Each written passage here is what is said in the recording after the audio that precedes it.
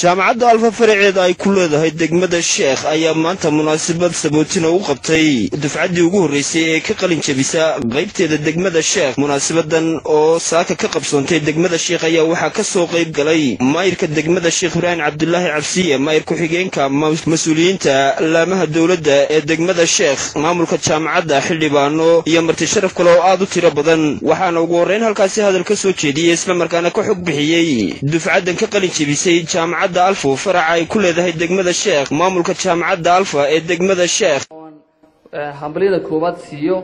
Ardaydii dufcaddii koowaad ka qalin jebiyey kambaska sheekh oo tiradoodu ay dhan tahay labaatan arday kana kooban labada kullidood ee kale ah nersin iyo midwefry oo ahaa marka hore dibloma hal sano oo abgradinana aanu jaamacadda alfa u ogolaatay watigoodii wakhtigoodiina si fiican ooga soo magaraysa ooga soo baxay.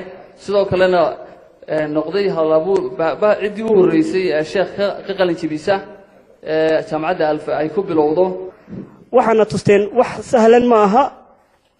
Wax qiraal laga sameeyo weeyaan runtii. Aad baa u mahadsan tihiin inaad waddada iyo dhabbaha u jeexdaan.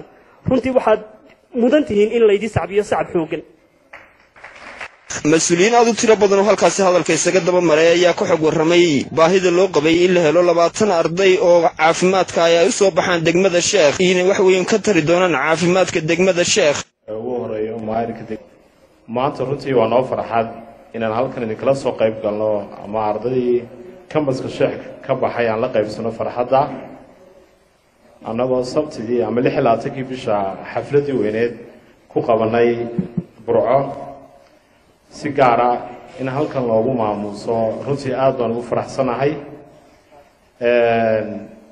shalay bay ahayd markii jaamacadda runtii qaybtan sheekh halkan laga furay maasha allah maanta waxaan arkaynaa midhihii ka soo go-ay wax kastoo dadaal la geliya ama juhdi la geliyaana runtii waxay yeeshaan horumar ama maxsuul baa runtii ka soo baxa waan u hambalyaynayaa ardayda dadaalka dheer ee muddada ay soo wadeen runtii iyo waqtiyada adag ay soo mareen?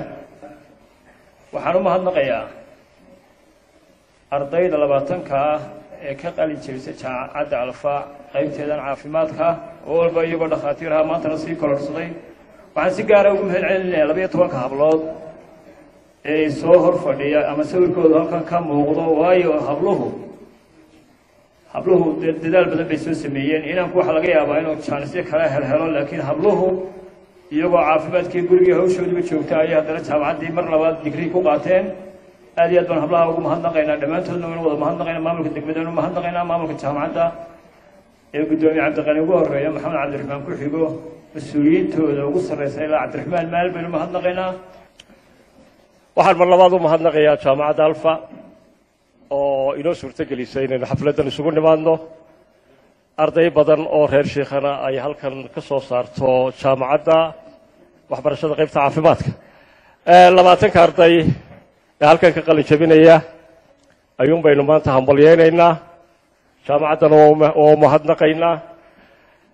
Waxaan filayaa idinkoo caafimaadka marka horeba ka shaqaynayay mar haddii aad digriina qaadateen inaynu waxtarka ay leedahay digrigu leeyahay waxbarashadu leedahay aqoon la korarsada ay leedahay. Soo shaqaale u badnaydeen markiina horeba waxaa faa'iidaanaha ka muuqato cisbitaallada iyo xarumaha kale caafimaadka ee degmada. Sida suuqsadoo la tilmaamay inaad kaga jirtaan amsiyaajyada iyo cisbitaalka labadaba saddexdaba. Inay ka muuqato ayaan idinka rajaynayaa oo kuwa kale ay ka dhinnayd aqoontanna si ay ugu dhiiradaan. Oo berinta ka maalin iyaguna u galaan koorskan aa qaadateen. Waxaan waxaan idinka rajaynayaa inaa wax tustaan oo idinku daydaan. Taa waxaan leeyahay ardayda. Gebagabadii munaasabadaasina halkaasi waxaa shahaadooyin lagu guddoonsiiyey. Qaar ka mid ah mas'uuliyiintii ka soo qayb gashay munaasabadaasi waa faysal aadan ismaaciil telefishinka qaranka somalilan degmada sheekh